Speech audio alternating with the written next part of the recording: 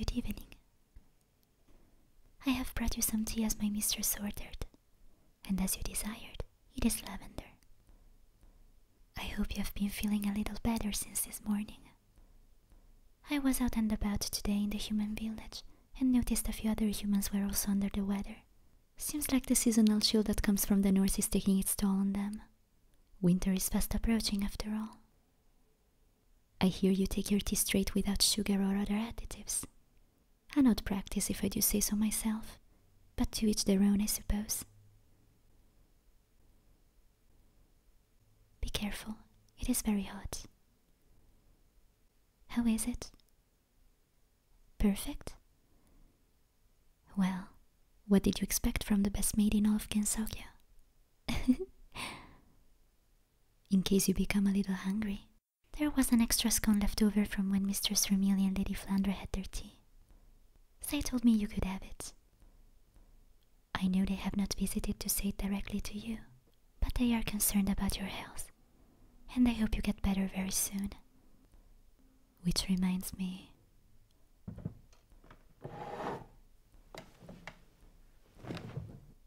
Mistress Remilia said I could have a little break after tending to you.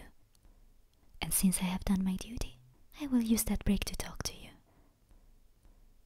There's something I have been wanting to ask you for a while, and now is as good a time as any. Ever since you became a full fledged butler, Remilia has been giving me more time off and breaks. I must admit, it is a little strange for me to be given a break. I am all too happy to serve my mistress tirelessly day in and day out. I am sure you remember me telling you about how she found me and how I am forever in her debt. I suppose the same could be said of you, since you have sworn to be this mansion's butler for the rest of your human existence. The Scarlet Sisters could have used you for your blood, you know.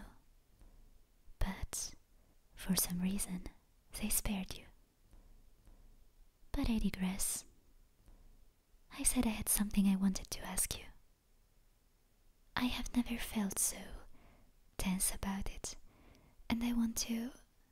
Um, what is the term? I want to get it off my chest. Please do not tell Mistress Remilia I asked you this. Do you have feelings for my mistress? Why am I asking? I. I see the way you look at her, and how quickly she accepted you into her service. Did you put some spell on her? Do not make the excuse that Lady Flandre found you. What were you even doing sneaking on the grounds in the first place? Just so you know, you are not the first human to try and sneak into the mansion. Many have tried, and all met the same terrible fate. But you, you are the exception, and I want to know why. Why would Mistress Remilia let you live? And what did Lady Flandre find so interesting about you to hide you in the basement with her? I just. Mistress Remilia needs me. I am not done talking to you. I will be back later to finish spilling my thoughts on you.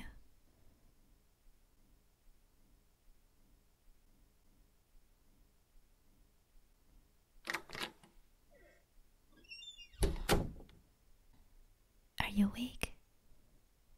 May I come in?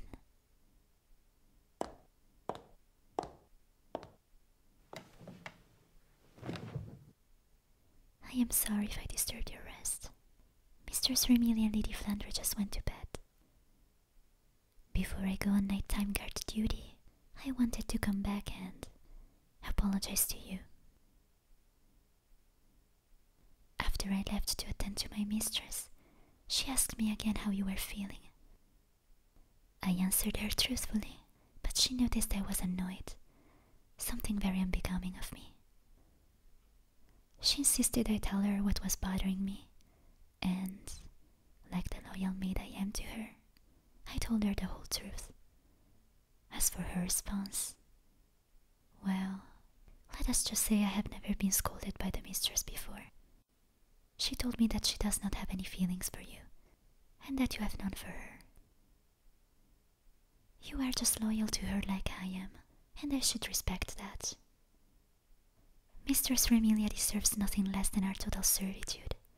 So, without further digression, please accept my apology for my prejudiced attitude towards you.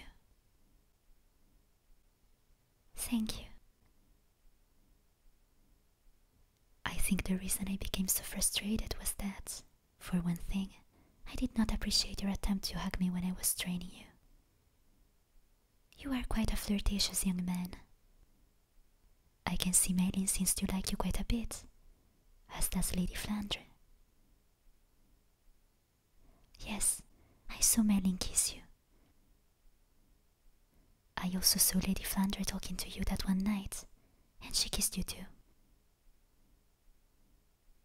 I was concerned that perhaps you had other intentions than just being friends with the members of the household. You are, after all, the only man living here. And you have plenty of girls to flirt with. but I have to be honest. You have been a very loyal and faithful butler. You have not made any mistakes in the last two weeks, which makes your illness a shame since now I have to pick up the slack. Not that I mind. Like I said, it was very strange for me to have some time off, and I love nothing better than serving Mistress Remilia. But I have to give credit where it is due. You are a very good butler, and you have more than earned Mistress Remilia's respect. And I should respect you too and get over my prejudice. It actually feels very relieving getting that off my chest. I should let you sleep now. I did not want to disturb you, but I just had to come and tell you how I felt. I will be sure to check on you tomorrow morning. Hmm, I cannot give you a hug while you are in bed, but this should more than make up for that. Sweet dreams. I look forward to working with you again once you recover.